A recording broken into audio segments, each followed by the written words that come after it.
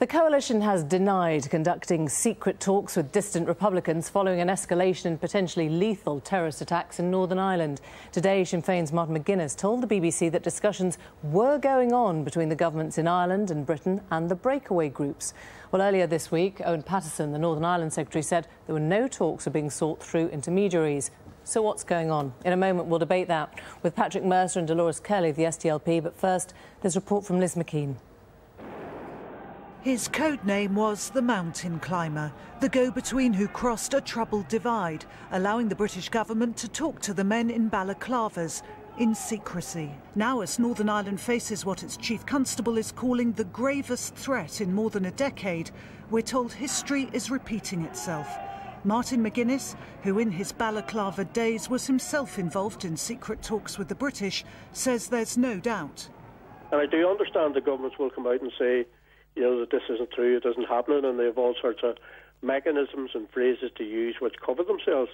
But but the reality is that uh, some of these dissident groups, I know for a fact, have been involved in discussions with both the Irish and the British government in recent times. The Irish and the British government may well deny that. That doesn't concern me in the least. I know it's happening. And deny it they do. Sinn Féin, now the party of peaceful Irish republicanism, has itself offered to hold talks with a group linked to the dissidents. The 32 counties sovereignty movement says no talks are imminent. When I met one of the leaders last year, he defended the armed resistance to British rule. Is it legitimate to target police officers? It would be perfectly legitimate to to uh, to target anyone who is uh, promoting British rule in Ireland. The targeting is remorseless. 48 bombing incidents already this year, including undercar booby traps, mortar, pipe and blast devices. 32 shootings, all linked to dissidents, and 27 police officers forced to move home. The dissidents have been regrouping. Um, they have also been recruiting. They have recruited former provisional IRA members that would have expertise in bomb making, for example, in, in, in um, manufacturing and, and, and planting undercar devices that we have seen in recent attacks. Um, and also just a greater disillusionment with the peace process in working class nationalist areas. In the course of the last 18 months, there's been a shift in the targeting of police officers from where they work to where they live, also placing their families at risk. Traditionally, the Protestant police lived in what were considered safe areas, but the growing numbers of Catholic officers often live where they grew up, and it's clear from the spread of recent attacks that no officer can feel entirely safe. This month alone, a car bomb detonated outside the main police station in Derry. There was also a series of undercar booby traps. A senior army officer was targeted at Bangor, a Catholic woman police officer at Kilkeel, and a civilian police worker in Cookstown. The extent of the terrorist activity has become geographically very widespread, and that's a very worrying situation for the police service of Northern Ireland. And whilst we've had some success in arresting people for some of these offences, and some of them have been charged, nevertheless, it's extremely worrying that these so called groups have now consolidated their position and have amalgamated. In Northern Ireland, it's said that good luck alone has spared police and public serious injury. The dissidents have experienced technical mishaps, but their intent is deadly. What we are seeing is a thorough level of planning. For example, the, the car bomb attacks. We're seeing um, wreckage taking place. We're seeing hoax devices being in place before um, the actual attack itself. And those hoax devices um, are specifically deployed to time the responses of the emergency services, the police forces, the bomb disposal teams that respond to them, they then watch those, they're called dickers. They um, carry out a thorough assessment of the emergency services procedures, and then they'll make a note of everything they've seen and done, and they'll tweak the actual uh, final attack before they then deploy the car bomb, for example. And what about the resources to deal with this threat? The rioting in Belfast this summer showed the challenge they're facing, but with police numbers cut and no troops to call on, there are calls for an urgent reassessment. We're just about coping as it is now. Are you just talking this up to try to boost your campaign for more resources? Well, I don't think I need to boost this up because the evidence is there and speaks for itself. If you look at the escalating uh, number of incidents that there have been in the last eight months, for example, and compare it to what happened last year and the year before, you can see there's a very steep uh, incline in the number of incidents that have been occurring, and that is very worrying. At the very least, Sinn Féin wants to reach out to the working class nationalist areas where it's been losing influence a few years ago, you wouldn't have scenes like um, young people telling the likes of Bobby Storey, um, a senior Sinn Féin member and, and provisional IRA member, to clear off. Um, Sinn Féin would have been able to stop the rioting, they would have been able to stop trouble. There is a strong challenge from the dissidents to Sinn Féin in working class Republican areas, and I think despite what the party says in public, that is of great concern. And that would explain why, for instance, Sinn Féin might be up for talking to the dissidents. I think that Sinn Féin are, are under pressure um, from from their own supporters as well to talk to the dissidents. And I think what Sinn Féin and the IRA hoped for was was what the, when the IRA called their ceasefire that that would be an end to Republican violence. The Northern Ireland peace process was founded on secret talks, and many believe the recent upsurge in violence will be ended by the same means. Certainly, politicians need to show that violence doesn't work. Talking is their only logical step. Liz MacKean there. Well, joining me here is the Conservative MP Patrick Mercer, who was a Shadow Security Minister, and from Belfast, Dolores Kelly of the SDLP. Thank you both uh, very much indeed for joining me. Uh, Patrick Mercer, Martin McGuinness said he knows it. He said, I know it's happening. H how does he know it? Do you think he knows it? Well, um, Emily, I think, I think we've got to be careful about exactly what we hear here and what we believe.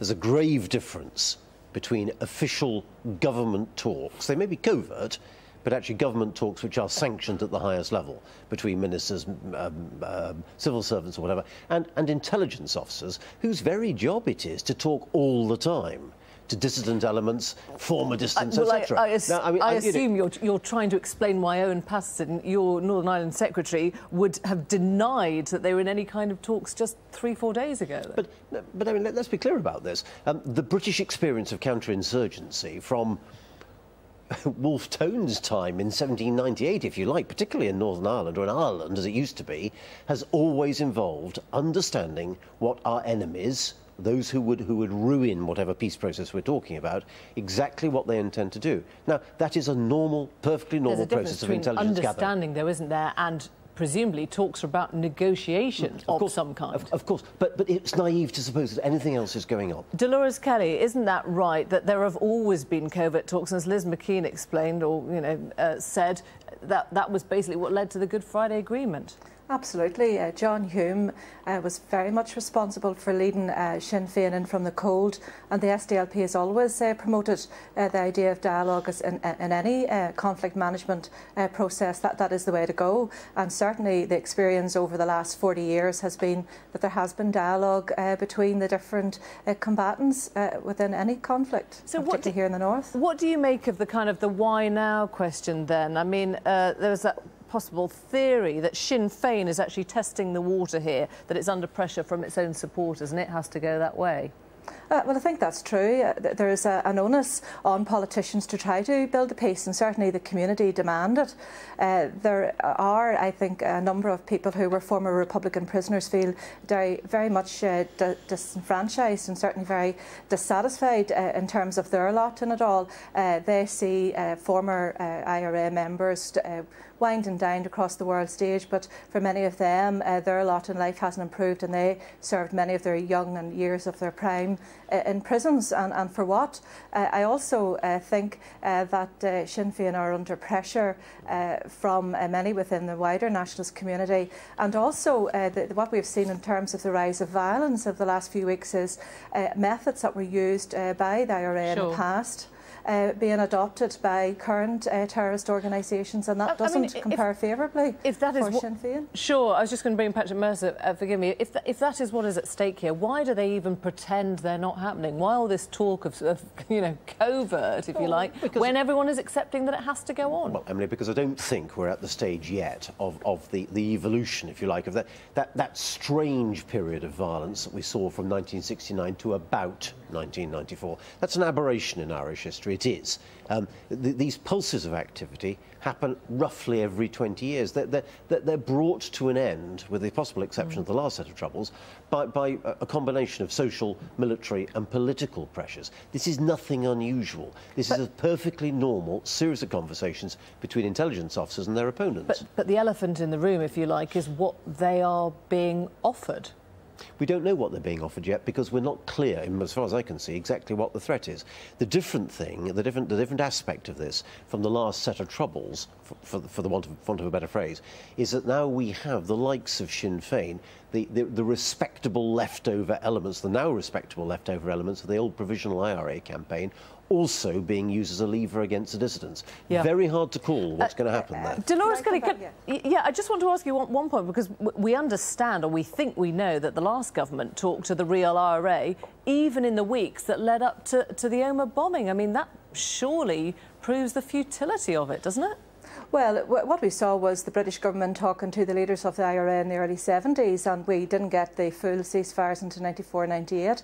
But really, what is different from uh, the last 40 years is the whole context. We have the Good Friday Agreement, we have the endorsement of the people of Ireland, both North and South, overwhelmingly for uh, how to resolve our difficulties in terms of the institutions of the Good Friday Agreement and also uh, the reform of policing and uh, human rights being enshrined right across the north. So, you know, we're talking an entirely different context uh, nowadays, and uh, we have uh, that widespread support throughout the community for the Good Friday Agreement. And, and do you do you buy the argument that it is not, if you like, fractions, splinter groups now? There is a sort of coherence to the real IRA and the, the, the dissident groups we're talking about coming together?